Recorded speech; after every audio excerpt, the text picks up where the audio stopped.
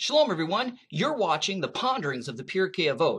I'm Chris Shoemaker, also known as Yehuda ben Shomer, and today we're going to be in chapter 1, verse 17.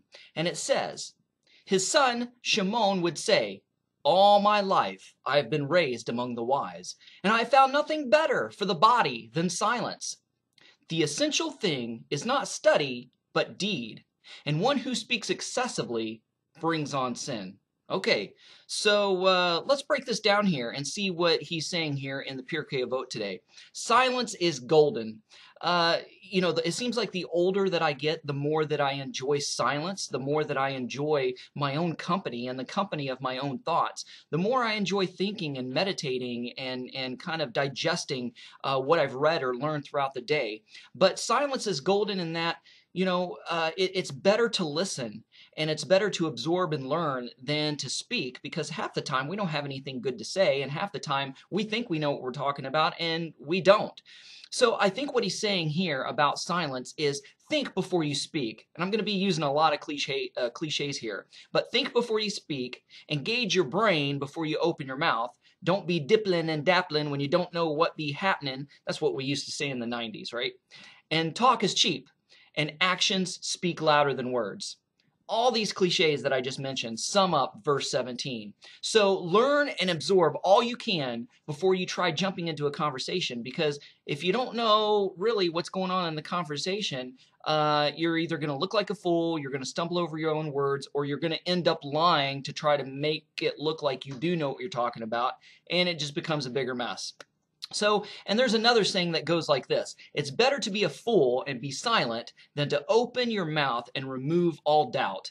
And Proverbs tells us that even a fool is considered wise if he keeps his mouth shut. That's Proverbs 17:28. So, why uh, why does excessive talk lead one to sin? Because one usually ends up either lying or exaggerating or embellishing and being all talk and no action, or lying unknowingly because one doesn't really know what they're talking about. They think they do, but they don't have all the facts. So I think that's another reason that he said that uh, one who speaks uh, excessively brings on sin. Uh, and it is a character trait of somebody who speaks a lot and talks a lot. Either they're nervous and they're they're just an anxious person, or they talk a lot because they're a con artist and they're trying to you know smooth things over or they're trying to talk their way out of something or you know and it just seems like you know, here we're on the border of Canada, right? Canada and the United States. So every time we go over, I used to be so nervous, you know, because of people in uniforms and their border security and their authority, and I would just stumble over my own words. But now I've gone across back and forth so much, it's you know, it's it's nothing. But I notice when I get nervous, I talk a lot, and when you get nervous and talk a lot, the border guard gets suspicious because he's like, okay, well, what are you so nervous about? What do you got to hide? Pop open the trunk, you know? So I've just learned to be silent and just only speak when spoken to and just answer the questions that they pose. That's it. Boom. Simple. In and out real quick. So uh, I think that's another good example that sums up uh, chapter 1, verse 17 of the Pirkei Avot. Hey, thanks. Uh, see you guys later. Shalom.